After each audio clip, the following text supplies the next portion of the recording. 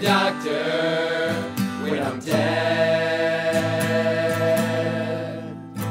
I'm not gonna change a thing.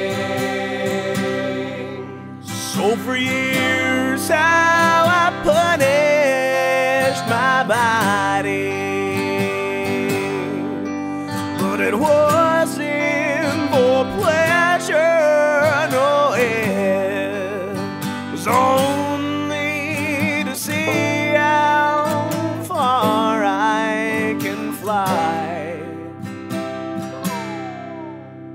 Whenever I close my eyes,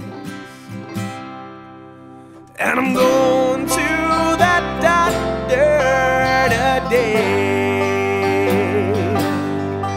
And she took one look and knew what to say, but it said, I don't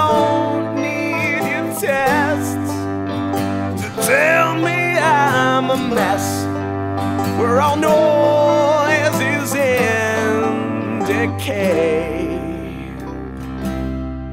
And now I'm standing here with some friends. They weren't victims of the world, just circumstance.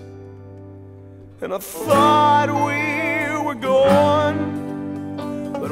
just moved on to some other kind of plane